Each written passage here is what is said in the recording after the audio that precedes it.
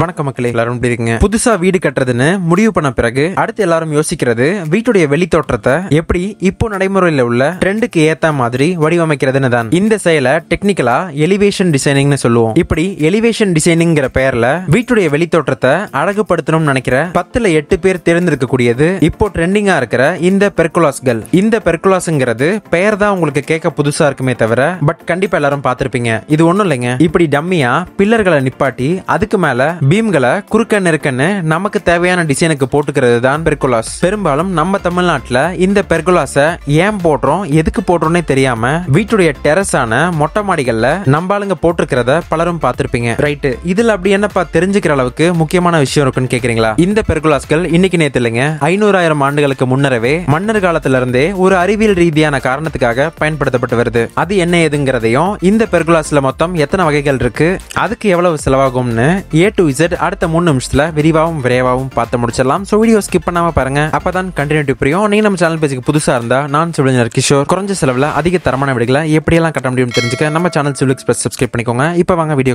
போலாம். இந்த பெர்குலாஸ்களை பயன்படுத்துறதுக்கான முக்கிய நோக்கம் பகல் நேரங்கள்ல வெயிலுடைய தாக்கத்தை கம்மி பண்றதுக்காகவும் அதே சமயம் வெளிச்சம் தடைப்படாம இருக்கவும் கிழக்கு மேற்கு திசைகளின் ஒழுங்குக்கு நேரா அதாவது சூரியன் பயணிக்கிற திசைக்கு வாட்டமா இந்த பெர்குலாஸ்கள் கட்டப்பட்டு வந்தது. இன்னும் குறிப்பா சொல்லணும்னா பெர்குலாஸ்களுடைய உயரமோ அகலமோ மேல வரக்கூடிய பீம்களின் இடைவெளின்னு எல்லாமே நமக்கு எவ்வளவு வெயில் தடுக்கப்படணுங்கிறத மனசுல வச்சுதான் வடிவமைக்கப்படணும். ஆக இந்த பெர்குலாஸ்கள்லாம் அவுட்டோர்ல வெளிப்புற இயற்கையான சூழல்ல அதிக நேரம் செலவிடக்கூடிய குடும்பங்களுக்கும் மனிதர்களுக்கும் தான் அதிகப்படியா தேவைப்படும். ரைட் இப்போ இதுல மொத்தம் எத்தனை வகைகள் இருக்குன்னு பாத்துருவோம் பெர்குலாஸின் டிசைன்ஸ் வடிவமைப்பை வச்சு அஞ்சு வகைகள்ல பிரிக்கப்படுது. முதலாவது ப்ரீ ஸ்டாண்டிங் பெர்குலாஸ். இந்த வகை தான் அதிகப்படியா எல்லாராலையும் பயன்படுத்தக்கூடியது. நாலு அல்லது ஆறு தூண்களுக்கு மேல பீம்களை குறிப்பிட்ட இடைவெளி விட்டு இப்படி அடுக்குகளா பொருத்திக்கிறது. ரெண்டாவது அட்டாச்சு பெர்குலாஸ் இந்த பெர்குலாஸ்களை பொறுத்தவரை ஒரு பாதி ஃப்ரீ ஸ்டாண்டிங்காவும் இன்னொரு பாதி பக்கவாட்டுல உள்ள ஏதும் சுவரோட கனெக்ட் ஆனபடி பொறுத்துறது மூணாவது ஆர்ச்சு பெர்குலாஸ் பேருக்கு ஏத்த மாதிரி பெர்குலாவுடைய டாப் சர்ஃபேஸ் வளைஞ்சா மாதிரி ஆர்ச் டைப்ல இருக்கிறது. இந்த டைப் பெரும்பாலும் பாத்வே மாதிரியான நடைபாதைகள்ல தான் பயன்படுத்தப்படும். நாலாவது வகை லூவர்டு பெர்குலாஸ் இந்த டைப்ல மேல வர சராசரி பீம்களுக்கு பதில் இப்படி கிராஸா இருக்கிற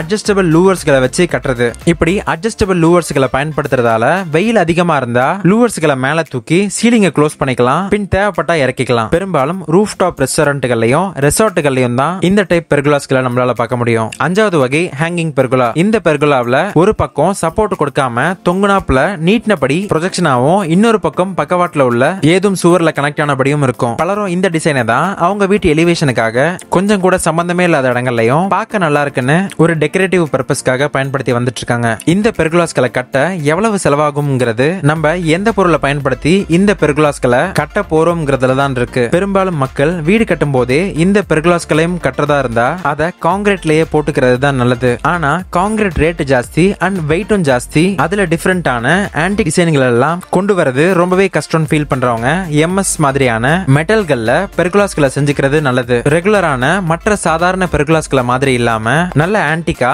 பாரம்பரியம் கலந்த கலைநயத்தோட பெர்குலாஸ்களை வடிவமைக்கணும்னு நினைக்கிறவங்களுக்கு உட் மெட்டீரியலான மர பெர்குலாஸ்களுக்கு போய்க்கலாம். வருஷ கணக்குல அதுவும் அவுட்டோர்ல மழையிலையும் வெயிலையும் இருக்க போற பெர்குலாஸ்களுக்கு மரத்தை தேர்ந்தெடுக்கிறதா இருந்தா அது நூறு சதவீதம் தரமான தெர்மோபைன் மரங்களா பார்த்து தேர்ந்தெடுத்துக்கிறது அட்வைசபிள் செலவை பொறுத்தவரை சிம்பிளான டிசைன்ல உள்ள காங்கிரீட் பெர்குலாஸ்களை உருவாக்க ஸ்கொயர் ஃபீட்டுக்கு நானூறு ரூபாயில இருந்து ஆயிரத்தி முந்நூறு ரூபாய் வரை ஆகும். எம்எஸ் மெட்டீரியலான உலோக பெர்குலாஸ்களுக்கு குறைஞ்சபட்சமா ஸ்கொயர் ஃபீட்டுக்கு முன்னூறு ரூபாயில இருந்து ஆயிரத்தி நூறு ரூபாய் வரை ஆகும் அதுவே தெர்மோபைன் மரத்தாலான உடன் பெர்குலாஸ்களுக்கு ஃபீட் ஆயிரம் ரூபாயில இருந்து தொடங்கி எட்டாயிரம் ரூபாய் வரைக்கும் கூட ஆகும். இவ்வளவு விலையேற்றத்துக்கான காரணம் இதுல நம்ம தேர்ந்தெடுக்கிற வேலைப்பாடுகளை பொறுத்து இந்த அமௌண்ட் மாறுபடும். ஆக இந்த பெர்குலாஸ்களை நீங்க உங்க கட்டிடங்கள்ல பயன்படுத்துறதா இருந்தா அதன் உண்மையான பயன்களை தெரிஞ்சு உங்க அன்றாட தேவைகளுக்கு ஏற்ப சரியான திசையில தேவையான வாட்டத்துக்கு ஏதுவா இந்த பெர்குலாஸ்களை வடிவமைச்சு பயன்பெறுங்க. அடுத்த ஒரு இன்ஃபர்மேட்டிவ் வீடியோவில் உங்களை மீட் பண்றேன். நான் சுழிஞ்சர் கிஷோர். தேங்க்ஸ் ஃபார் வாட்சிங்